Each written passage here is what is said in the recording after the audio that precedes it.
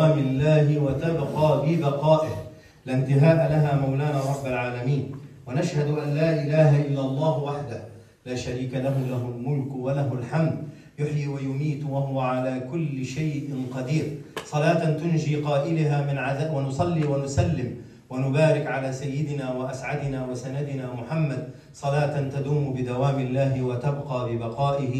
لا انتهاء لها مولانا رب العالمين. ونشهد أن لا إله إلا الله وحده لا شريك له له الملك وله الحمد. তো আপনারা অনেকেই আমাকে বলেন যে, ভাই আমরা তো যতটুকু জানি যে, ডেনমার্ক হচ্ছে নর্ডিক কান্ট্রি এবং আপনি ডেনমার্কে থাকেন, তো আসলে ডেনমার্কের মসজিদগুলো দেখতে কেমন? আসলে ডেনমার্কে মুসলমানদের সংখ্যা কেমন? এখানে নামাজ কীভাবে পড়ানো হয়? এগুলো নিয়ে একটা ভিডিও বানা বানায়েন আমাদের জন্য আমরা একটু দেখব কিংবা আমরা এ বিষয়ে একটু ইন্টারেস্টেড জানার জন্য আর কি। তো আজকের এই ভিডিওতে মূলত আমি নামাজ পড়তে আসছি হচ্ছে আমার লোকেশন থেকে প্রায় বলতে পারেন ষাট কিলোমিটার দূরে একটা মসজিদে। মসজিদটার নাম হলো হচ্ছে যে ভাইলা মস্কে। তো যেটা বলতেছিলাম যে ডেনমার্কের মুসলমানদের সংখ্যা কেমন? দেখেন ডেনমার্কের মুসলমানদের সংখ্যা কিন্তু খুবই কম এবং খুবই সংখ্যালঘু। এবং আপনারা যদি আমাকে বলেন যে ভাই মসজিদের সংখ্যা কেমন? যেমন দেখেন, এই যে এই মসজিদটা, আমি কিন্তু নামাজ পড়তে আসছি প্রায় হচ্ছে ষাট কিলোমিটার দূর থেকে। তাহলে একবার চিন্তা করেন যে আমার আশেপাশে মসজিদ নাই, আমি কোথায় থাকি? সো আমি শহর থেকে একটু একটু দূরে থাকি, খুব একটা বেশি দূরে না। ঠিক আছে?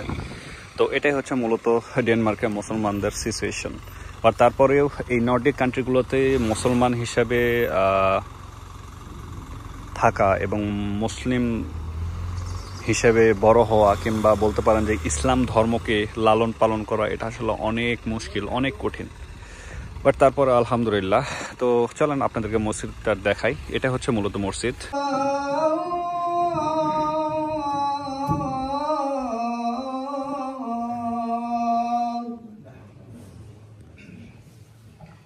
حي على